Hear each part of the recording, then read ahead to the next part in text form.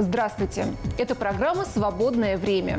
Время – это средство, которое невозможно накопить, но можно попусту потратить. От слов перейдем к делу. И вот что мы покажем в сегодняшнем выпуске. Тамбов стал объектом внимания федеральных каналов. Съемки программы «Поедем, поедим» стали сенсацией для местных жителей. Дыхание природы в полотнах художников. В картинной галерее открылась выставка Ирины Пугачевой-Мироновой. Сегодня в рубрике «Крупным планом» гастрономическое путешествие Джона Орона по Тамбовщине. Известный телеведущий программы «Поедем, поедим» исколесил всю Россию. За пять лет он сделал 250 выпусков программы. Вот и Тамбов появился на его карте. О том, как проходили съемки телепередачи и чем угощали англичанина с русской душой, мы расскажем вам прямо сейчас.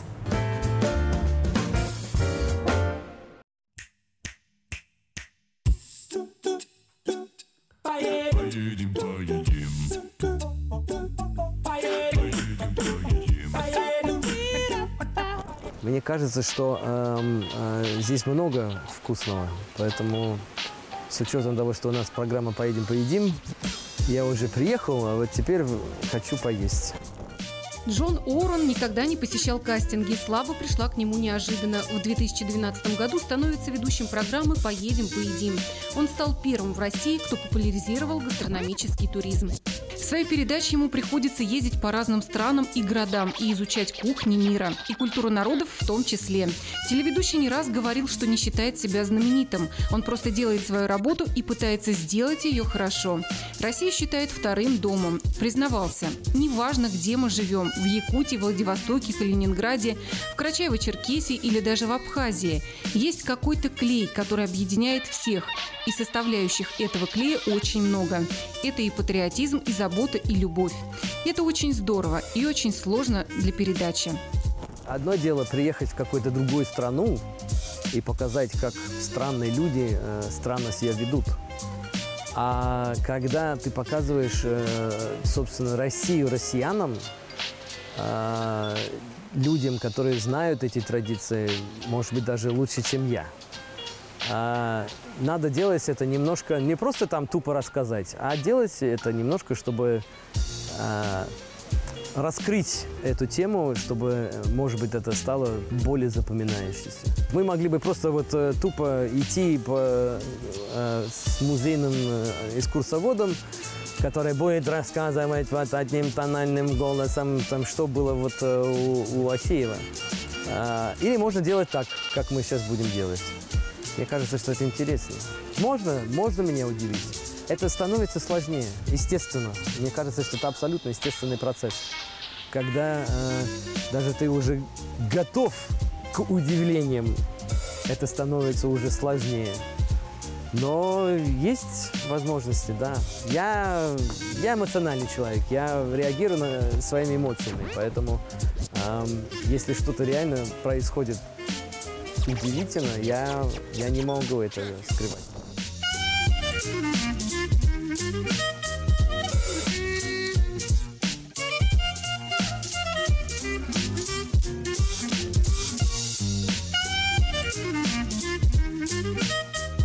Чебуреки уже зарекомендовали себя на протяжении 14 лет, если мне память не изменяет. Вот, пользуются популярностью. Мы просто приспоставляли продукты, которые больше всего используются в той или иной стране, ну и подбирали что-то такое. Экспериментировали, так скажем. Очень большая честь. Все волнуемся, два дня ждали, два дня готовились. Ну, весело. Круто. Мы взяли курицу, э, креветок и добавили туда э, суп том-ям, чтобы делать его тайским. Отличный чебурек. Мне кажется, что наше мнение это не столь важно. Давай мы раздадим народу, и пусть они скажут, что они думают, да? Я с тобой полностью согласен. Все, вы голодные? Да! Ну вот! Как можно быть не голодным? 20 минут смотреть, как мы готовим чебуреки. Чебурек это такое немножко остаток Советского Союза, да, и вот немножко есть вот в этом, потому что старшее поколение, они вот реально, это было чебуречные на каждом углу практически. Поэтому э, чебурек, мне кажется, он немножко э, не то что вымирает, но я надеюсь, что вот мы немножко засунули туда немножко такое, чтобы, чтобы чебурек не, не вымер, не стал в красных книг.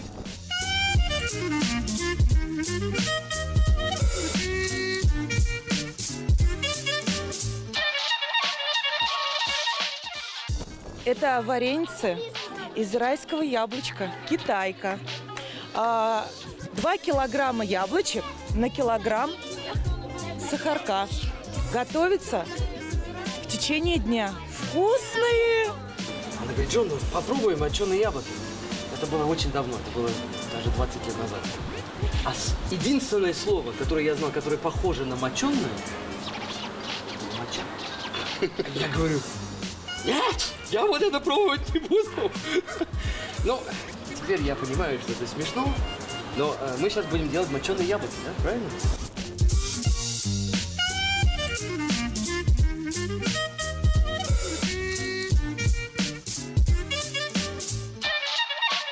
У нас тоже так пошло немножко вот с высокой кухни. Мы начали какие-то очень такие завороченные, навороченные какие-то эм, эм, блюда делать. А когда мы приехали сюда, мы как-то вот приземлились на русскую землю и стали есть, опять-таки, очень вкусную русскую еду. Щи э, с блинами, вот такой крыши блинной, э, было очень вкусно. Это окорок. Ам, э, да, э, мы делали с Натальей э, Антоновка с, с гречкой, с, с одуванчиковым медом.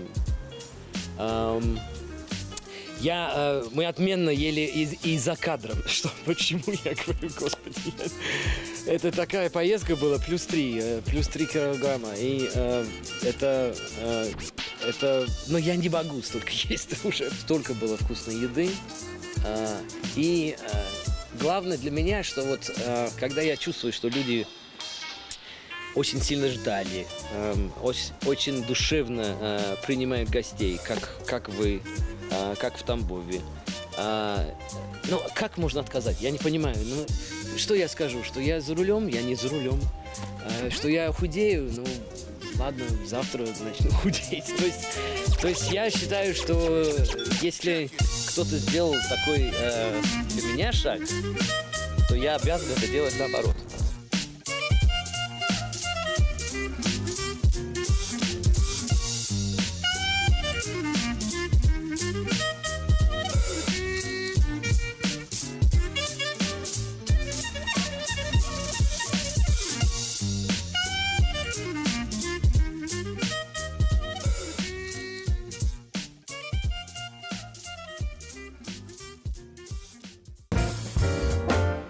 Искусство – это выражение глубоких мыслей самым простым способом. В рубрике «Мастерская» Ирина Пугачева-Миронова и ее юбилейная выставка «Дыхание природы».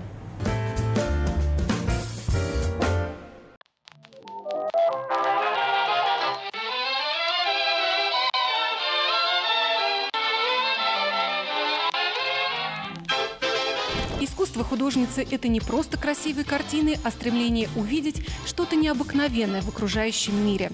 Это не просто декоративные вещи, а самостоятельно живущие произведения искусства. В них природа дышит красотой, которую подчас не каждому удается рассмотреть. Одна из работ, вот самых как раз на фоне которых мы стоим, «Живое дыхание природы» называется. То есть эта работа выполнена хоть и давно, в 99 году, но тем не менее я считаю ее ну, какой-то вот значимый для себя. Солнечный свет, э, атмосфера, воздух.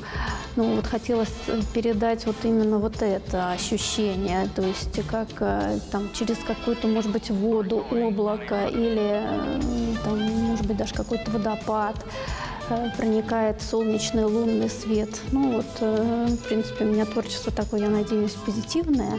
Ну и этот позитив хотелось вложить в эту работу. Трубочки используются для холодного батика. То есть если мы посмотрим на ткань, где видно определенный контур, вот можно посмотреть, вот платок очень э, как бы нагляден. Вот видно контур рисунка, и этот контур рисунка как раз можно а, провести, именно используя вот эти стеклянные трубочки, ресфедеры. Исправление ошибок очень сложно. А в горячем батике практически невозможно. Если уже работа готова, парафин э, уже из нее выпарен, то там уже ничего не перекрасишь, не переделаешь. То есть если не угадал в тоне, в цвете, то практически исправить ничего нельзя. Свою я акварель отношу больше к графике. Мне нравится вот скрупулезно изучить это растение. В принципе, здесь практически каждый цветок нарисован с натуры. Есть работы, которые там были начаты там и пять лет назад. Вот эти тыквы, что-то мне все никак не, хот... ну, не было времени. То арбуз не вызрел, то уже цветы у кабачка закрылись. Э, Ну и поэтому только в этом году пришлось ее дорисовать. Хотя, наверное, три года она просто вот была в полуфабрикате. Ну, это вот можно сказать, как бы многослойная аппликация. То есть ткань, кусочки ткани соединяются при помощи непряденной шерсти. Непряденная шерсть представляет себе такую гребенную ленту, э, накладывается вот много слоев вот этой разноцветной шерсти, и при помощи теплого мыла и воды это все как бы вручную или можно при помощи виброшлифовальной машинки, то есть все это соединяются, эти слои, то есть это вот вручную на такой пузырчатой неровной поверхности. Вот и игла для валяния, но я использую в основном как бы иглами я практически не пользуюсь, я использую мокрое валяние. Вот, э, допустим, один час уходит э, на ткачество э, 5 на 5 э, сантиметров.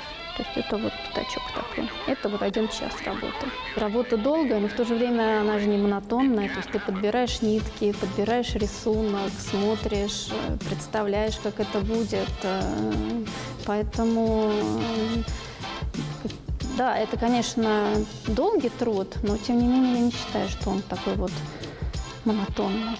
Здесь как раз материалы его для ковроткачества. То есть это вот э, колотушка, но я пользуюсь э, обычной хозяйств... ну, обычной вилкой, только такой тяжеленькой, металлической или с костяной ручкой, э, потому что у меня довольно-таки плотность большая. Основная такая творческая активная деятельность началась где-то с 98 с 99 года, когда уже начала уже что-то делать свое.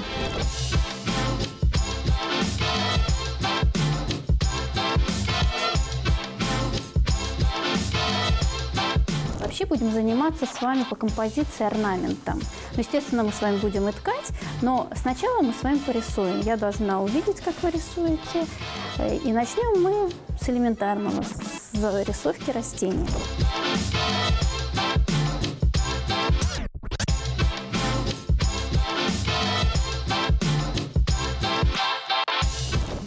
У нас элементарные наши самодельные, можно сказать, станки для ковроткачества, которые представляют, э, представлены в виде горизонтального станка. То есть основа натянута горизонтально, то есть э, на обычные гвозди, на планке натянута основа. Это рисунок геометрический, он выполняется под счет. Мы при помощи иголки пробираем ниточки основы для того, чтобы э, при помощи полотняного переплетения проложить уток. Вот мы проложили уток, а чтобы нам его уплотнить к краю гобелена, мы его прибиваем вилочкой. Для того, чтобы у нас основа не светилась, и ее не было видно. Отдача вот э, от своего труда, ты ее, во-первых, видишь, она видна и приносит ну, удовлетворение.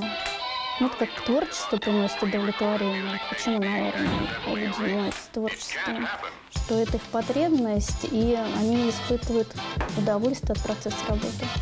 Хотя иногда, конечно, приходится и себя и заставлять. Не всегда там ждешь вдохновения, да, вот по вдохновению. Но приходится и заставлять себя работать. Но, тем не менее, работа в удовольствие.